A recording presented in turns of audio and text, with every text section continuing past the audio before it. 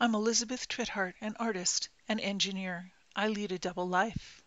By day, I troubleshoot cloud software, and by night, I weave exquisite fabrics on my hand looms. Before I can weave, I must first build my loom from pieces of wood and string. An idea for a textile can come from many sources. One of my favorites are historic textiles. This is a profile draft that inspired me. On this page, there's enough information for a weaver to recreate the design the draft author Mary Meigs Atwater called a recipe. This was one of my first weaving math problems to solve. The recipe calls for 1700 threads. My loom has only 8 shafts and is 24 inches wide. My reed measures 12 dents per inch. After solving an equation for scaling the design, I was able to weave this pattern. I followed the guide for a double weave cloth and used a pickup technique. The weaving was slow. I was able to reproduce most of the pattern. The sample is the size of a placemat, just large enough to be a coverlet for a doll. I need a bigger loom.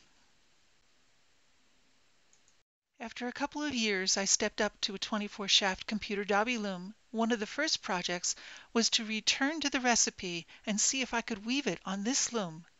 I wrote the draft using a computer program, threaded the loom, turned on the computer, listened to the click clack of the solenoid test. Out of the loom came this coverlet, woven 50 inches wide. I noticed right away that the proportion was off. Why was it elongated? I had much to learn about set and the choice of weft yarns and how they impact the squareness of the pattern. While I had a usable throw, I did not have a full copy of the original design. As I was learning about weaving, I traveled around the country taking classes and eventually purchased this loom I named Queen Esmeralda. She's a draw loom from Sweden, over 12 feet long and 6 feet wide. It took weeks to assemble and dress her for weaving for my next attempt at reproducing the recipe draft. Finally, I was able to reproduce the entire draft in a six shaft satin weave. The pattern required the use of 75 patterned shafts. This is how the weaver intended the design to look. As an added bonus, I discovered and corrected an error in the original profile draft. In 2006, I was able to travel to Florence, Italy to finish my BFA in Studio Arts. I studied jacquard loom silk weaving. It was there I discovered my passion was for the draw loom, which existed just prior to the jacquard loom being invented. I had also learned that I, had I lived 200 years ago, I would have been a damask weaver. In damask, each change in the reflection of light is caused by a change in weave structure. The properties of a damask fabric are that it's reversible and it can be woven with a single shuttle. It took me a few days to design it on the computer, but almost a whole week to punch the cards by hand and string them. A big part of learning to weave is to master drafting theory. Drafting is an elegant graphic form of applied mathematics in which a weaver determines which threads will appear on the top of the cloth. The guiding rule for this draft is that no weft thread may rise above the surface more than five blocks. Weavers make use of symmetry to reduce the number of shafts required to weave a pattern. There are a number of computer programs written to assist the weaver in making a draft. Many are written using Java and C Sharp.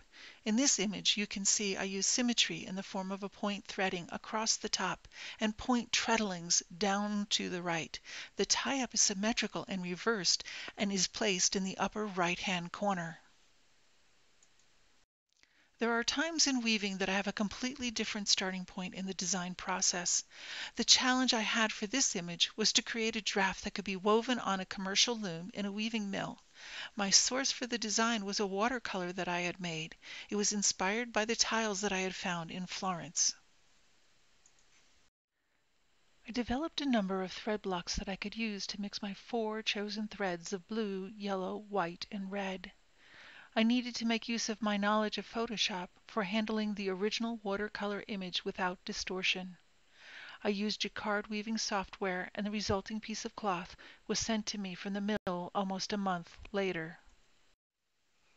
When planning any warp, I need to calculate the length and number of threads, plan for something called take up, loom waste, and shrinkage in the wet finishing process. While warping, I must count carefully and develop a cross to keep threads in order. I use a warping chain to prevent tangling when moving the warp from the warping board to the loom. The origin of this draft is likely unknown. The copy I found was discovered in a historic weaver's draft book. Jacob Angstadt was a weaver in Pennsylvania in the late 1700s. The design features motifs of a snowball and Whig roses. My goal is to develop a contemporary version of this draft that can be woven on a simpler loom. One of the things needed to make the transformation to an eight shaft loom is that I needed a ground structure that uses only two shafts. Here there are several iterations I made while designing the draft and weaving samples to see if my theory works. To me, creating a draft is developing a mathematical theory. The actual weaving of cloth is the proof. My sampling efforts resulted in this design. I used the snowballs, created new borders, and a new center with an open space between. The resulting cloth is durable enough to use in a garment, yet soft to the touch and drapeable. I'll be using this cloth to design a jacket to be used in a fashion show next year at Hand Weavers Guild of America's Convergence Gathering. Looking at this image, you can see the cherries and the leaf blocks I used as the basis of the damask weaving earlier. There's a combination of three sets of symmetrical blocks in my relief woodblock print. The shared symmetry points place the blocks in harmony with one another. I use this design as a starting point for a final computer jacquard weaving project. I've been happily weaving since 1991 and it's taken me on trips around the country and the world. Weaving is a lifelong learning experience embracing both past and the future. When weaving is taught in the proper context, weaving includes science to use theory and proof methodology, technology where mechanical and technical skills are embedded, engineering in material design and construction skills which are learned, art in creating beauty in form and color have become essential. Math, every step of the way, mathematics are used to control and predict the outcome. Weaving is so hot, it's steam.